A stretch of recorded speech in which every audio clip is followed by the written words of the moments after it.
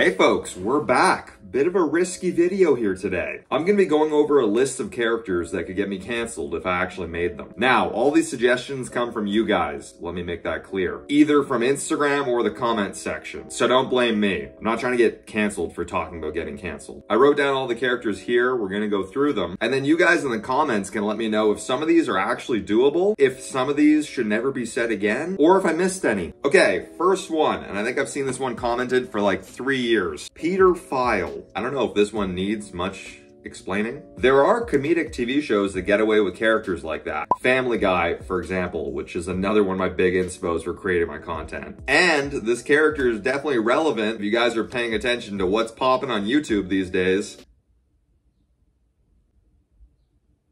Okay, moving on. Coming right behind Peter File, someone you don't want behind you, Mo Lester. First off, I will say, great name, because Mo and Lester are both actual names. This one is slightly more doable than Peter File. Like, I wouldn't want to do him, but creatively it might be more doable. But an entire character just based around that, where do I go with that character?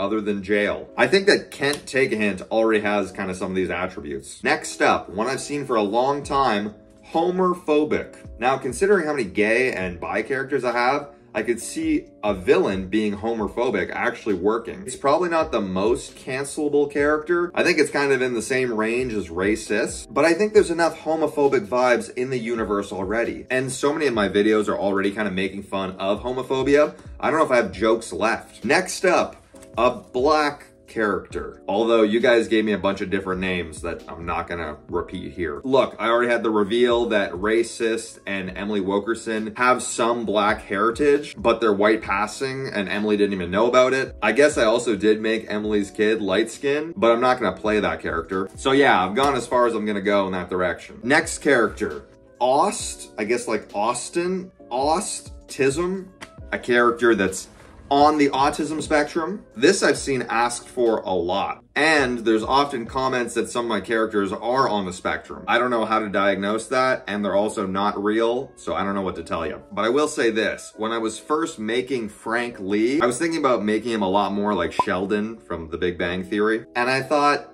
I might get canceled for this. So I didn't. I'm actually not sure as a society where we lie on this one. This is one where I'd like to see your comments. Is it fair game as someone who's not on the spectrum that they know of? Apparently I have schizophrenia. Can I trade that in? I don't know what the conversion rate is. Okay, that joke alone was cancelable. I can tell you that as an actor, I'd be interested to try to play a character like that. Like if I was in a movie and I had to play that character seriously, that would be an interesting challenge. Next one, alcoholic.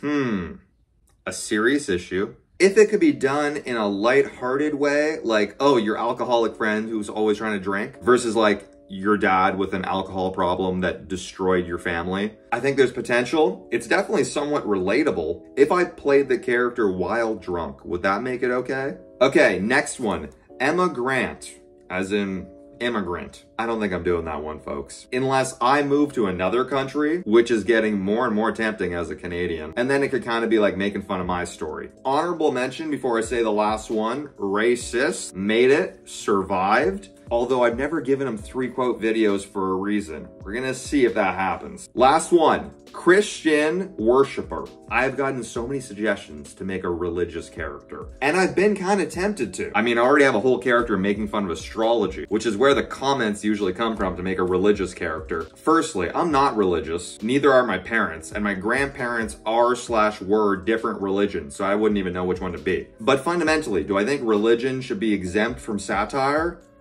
Probably not. Am I gonna do it?